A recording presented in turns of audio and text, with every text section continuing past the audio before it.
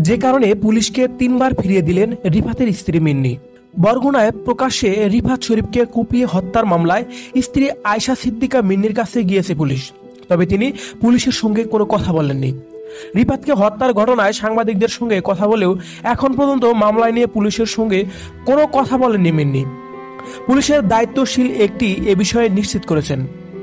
সূত্রে জানায়, শনিবার হত্যা মামলার তদন্তকারী কর্মকর্তা বরগুনার সদর থানার ভারপ্রাপ্ত কর্মকর্তা হুমায়ুন কবির মিন্নির সঙ্গে ঘটনার বিষয়ে কিছু সুনির্দিষ্ট বিষয়ে আলাপ করতে রিফাদের বাড়িতে যান।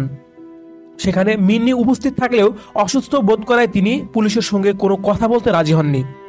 মানসিকভাবে বিপর্যস্ত মিন্নিকে কথা বলার চাপ দেননি পুলিশ। দ্বিতীয় দফায় রিফাতের বাড়িতে গিয়ে পুলিশ জানতে পারে তিনি নিজের বাসায় চলে গেছেন। শনিবার বিকেলে মিন্নির বাবার বাড়িতে যায় পুলিশ। প্রথমবার সেখানে গেলে অসুস্থতার কথা বলে তিনি পুলিশের সঙ্গে কথা বলেননি। তৃতীয়বার গেলেও কোনো কথা বলেননি তিনি। বাড়ির ভিতর থেকে নিজের অসুস্থতার কথা জানিয়েছেন তিনি। এরপর আর তাকে জিজ্ঞাসাবাদের চেষ্টাও করেনি পুলিশ। এদিকে শুক্রবার বিকেলে এই ঘটনায় গ্রেপ্তার তিনজনকে রিমান্ডে নেয় পুলিশ। শনিবার দিনভর রাতের জিজ্ঞাসাবাদ করা হয়। এ বিষয়ে পুলিশ সদর দপ্তরের সহকারী মহাপরিদর্শক মোহাম্মদ সোহেল রানা বলেন, ঘটনার তদন্ত চলছে।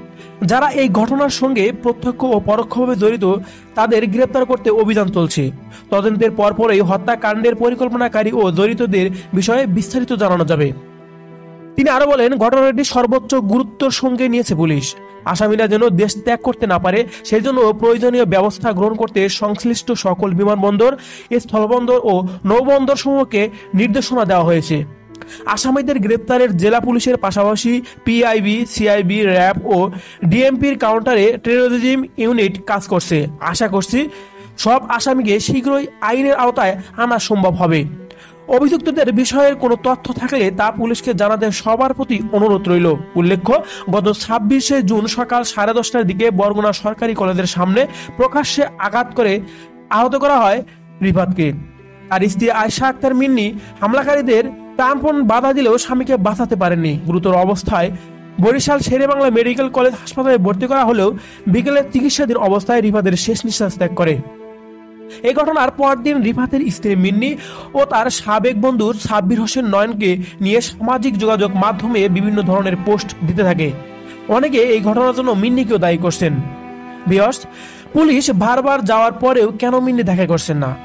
বারবার পুলিশকে ফিরিয়ে দিচ্ছেন কেন? আপনার কি মনে হয়? কি কারণে ফিরিয়ে দিচ্ছেন? আপনার মতামত আমাদের কমেন্ট বক্সে অবশ্যই কমেন্ট করে জানাবেন।